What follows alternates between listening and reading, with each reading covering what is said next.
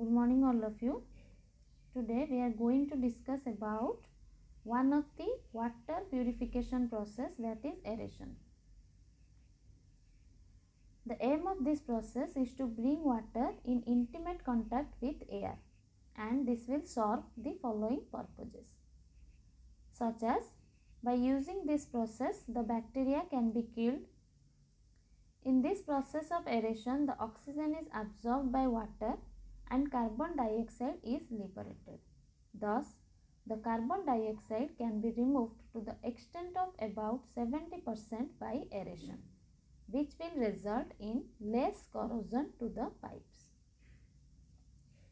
The aeration easily removes hydrogen sulfide and hence the odor due to this gas is removed by aeration. The iron and manganese present in water are also oxidized to certain extent by aeration. So these are the different purposes. Second one is what are different methods of aeration. So following are the four methods of aeration which are generally adopted in the treatment of water such as air diffusion, cascades, spray nozzles, tray tower and trickling bed. So let us first discuss about the air diffusion method of aeration. So in this method you can see here perforated pipes are installed at the bottom of the tank and the compressed air from the compressor is blown through these pipes and the air bubbles these are the air bubbles. These are the air bubbles while coming up from the bottom of the tank will come in contact with the water content in the tank. And by this aeration of water is achieved. The depth of this aeration tank is kept as about 2.5 meter to 3 meter and they work on the principle of continuous flow with minimum detention period of 15 minutes. So here from here the raw water will enter into the tank and from the compressor the air is blown through this uh, water contained in the tank and after the close contact of air with water the aeration process is achieved and the aerated water is then uh, collected in the tank. The next method is cascades. So, cascade is a waterfall and a simple cascade consists of a series of three or four steps. See here, these are the steps and these steps are generally made up of concrete or metal. The water is allowed, this is the water is allowed to flow through the uh, velocity of 0.3 meter per second and with a fall through a height of about 1 to 3 meter. And as thin sheets of water falls through a height, the dissolved gases like carbon dioxide gets released and oxygen from air gets entered in it. The next method is spray nozzles.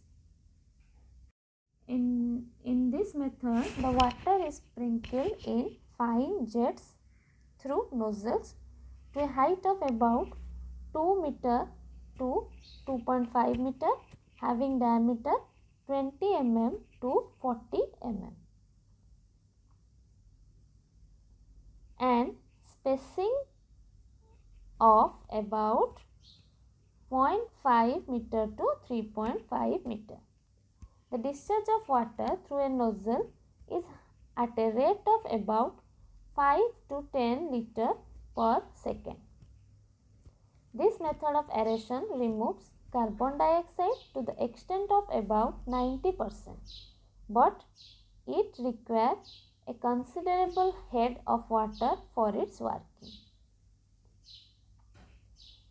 Next method is tray tower. So tray tower consists of a central nozzle and different diameters of trays are prepared. Thin sheets of water, so water will coming out of the central nozzle and it will flow, it will drop down the trays and collected at the bottommost tray. These trays are placed at a distance of 250 to 750 mm. The discharge of water and this method is much more effective and removes carbon dioxide to the extent of about 90 to 95 percent.